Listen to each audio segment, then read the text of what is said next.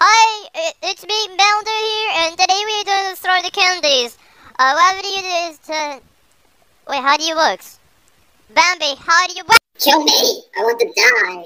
Kick me, please, Senpai. Kick me! I'm going to leave.